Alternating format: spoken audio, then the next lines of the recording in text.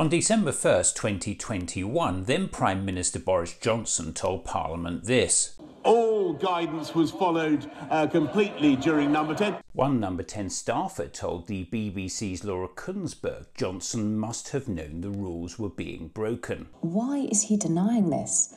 When we've been with him this entire time, we knew that the rules had been broken. We knew these parties happened. A week later, responding to allegations of a Christmas party in December 2020, the Prime Minister said this I have been repeatedly assured since these allegations emerged that there was no party. But there was a party. Sue Gray reports the event was crowded and noisy, such that some people working elsewhere in the number 10 building that evening heard significant levels of noise, what they characterised as a party. Johnson repeatedly denied any lockdown law breaking. What I can tell you is that uh, all the guidelines were observed. I can tell you that I certainly broke no rules. And then there was this.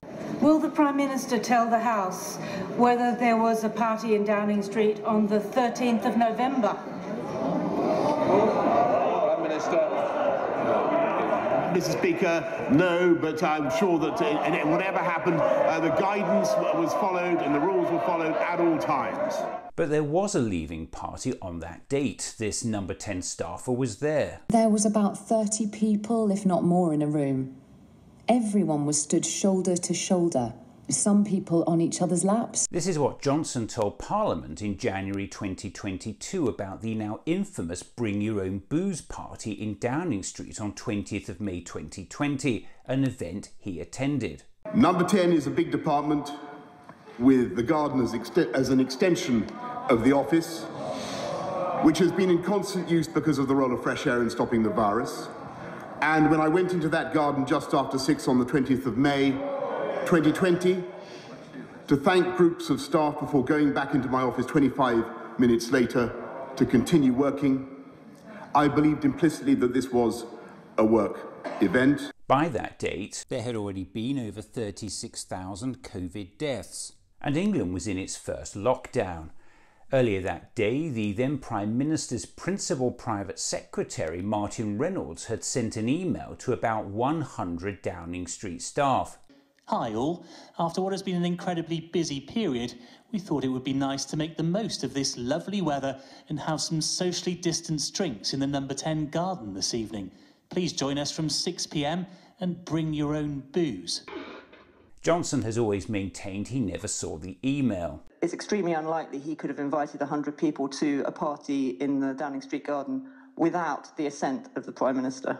At 5 pm, one hour before the event began, then Culture Secretary Oliver Dowden had reiterated the rules at the government's daily COVID update. You can meet one person outside your household in an outdoor public place. This is how the BBC's Laura Kuenssberg described the event which then took place. 30 people attended, including, according to two eyewitnesses, the Prime Minister and his wife, with a long table set out in the garden for drinks and snacks. We know this gathering broke lockdown rules because the Metropolitan Police issued Downing Street staff with a tranche of fines for attending the event. Johnson later added this With hindsight, I should have sent everyone back inside.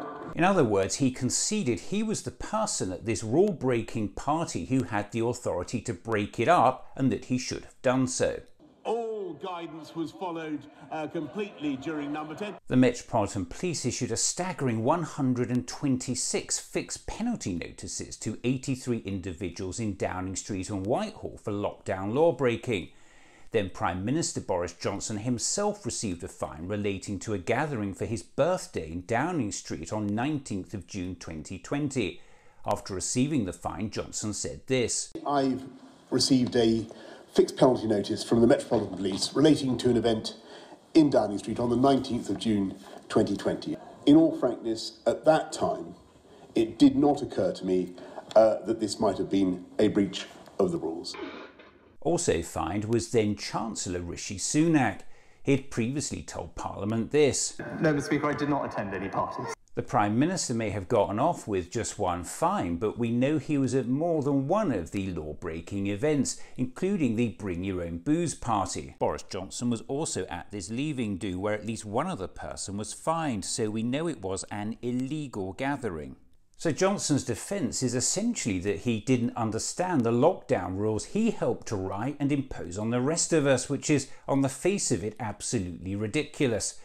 When Johnson told Parliament this, all guidance was followed uh, completely during number 10. Those words were clearly false, so the Prime Minister did mislead Parliament. The question a committee of MPs is now investigating is whether Johnson knowingly misled Parliament. We now have the first sign of their evidence, and it's not pretty for the Prime Minister. There is evidence that the House of Commons may have been misled in four different ways. A culture of drinking in the workplace in some parts of Number 10 continued after COVID restrictions began. Mr Johnson failed to tell the House about his own knowledge of the gatherings.